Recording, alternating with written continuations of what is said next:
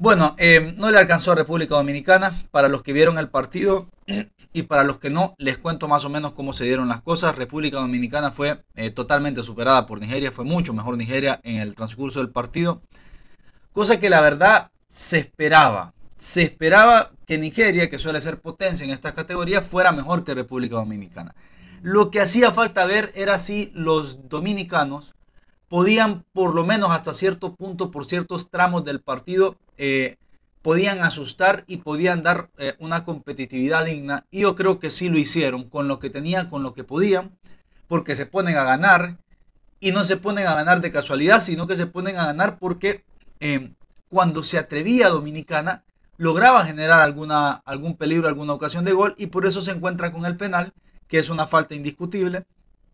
Y por eso Ascona, el 10 de este equipo, eh, el jugador más talentoso de este equipo, eh, puso el 1 a 0 y hasta ese momento era historia pura, ¿verdad? Debuta en Copa del Mundo en cualquier categoría y le estaba ganando a nada menos que a Nigeria. Eh, si el resultado era ese, era carnaval y fiesta total en Dominicana. Pero bueno, eventualmente se terminó imponiendo la superioridad tanto física, atlética como futbolística de los nigerianos. Si bien es cierto el gol, el, primer gol viene de un saque de banda impresionante y un autogol, era también producto de que Nigeria estaba siendo superior. Quiero lamentar realmente eh, lo del el segundo tanto nigeriano.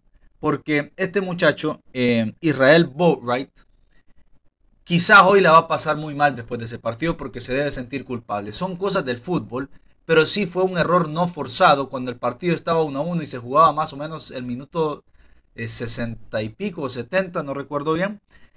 Y el empate era tangible, podía seguir aguantando a ver qué pasaba la selección de, Dominicana. Y bueno, vino ese error, un pase mal dado para atrás, que se terminó eh, convirtiendo en el segundo gol de los nigerianos, que a fuerza de ser sinceros, eh, lo merecían. O sea, si no hubiese caído ese, hubiese sido justo que cayese otro, ¿verdad? Y que al final ganara Nigeria porque fue el mejor equipo sobre la cancha. Me ha gustado lo del portero, de más está decirlo, el portero Javier Valdés de, la selección dominicana, el mejor jugador de la cancha quizás. Me ha quedado de ver eh, Montes de Oca, eh, que en el premundial aquí en Honduras lo vi, lo vi en el estadio un par de veces y me pareció un gran jugador, el dueño de la media cancha de ese equipo Hoy no estuvo bien Montes de Oca. Sí me ha gustado el central. Atentos a martes. El 5, el número 5 de, Dominicana. Un central corpulento, grandote. Pero a pesar de su gran tamaño, eh, no era muy brusco. Era, tenía clase para quitar pelotas. Lo vi barrerse en un par de ocasiones para quitar la pelota limpiamente y para salir jugando. Se lo vio técnicamente bien y en labores de recuperación de pelota también lo vi bien. Este podría llegar a ser un gran central. Me gustó martes el 5. Y bueno, lo de Ascona, que no es ninguna sorpresa, ya sabíamos también que era el jugador más talentoso de este equipo. De más, bien ganado por, por Nigeria, no hay mucho más que decir. Eh, el panorama es complicado para República Dominicana porque le falta Brasil, le falta Italia. Eh, tendrá que dedicarse a ser digna, a ser competitiva y a tratar de sacar resultados decorosos como lo sacó hoy.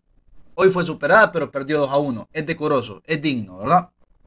Eh, así que, bueno, ese es el análisis de este partido. Abrazo gente, se me cuidan. Si les ha gustado el video, me dan like, se suscriben y activan la campanita para seguir apoyando a este servidor. Gracias.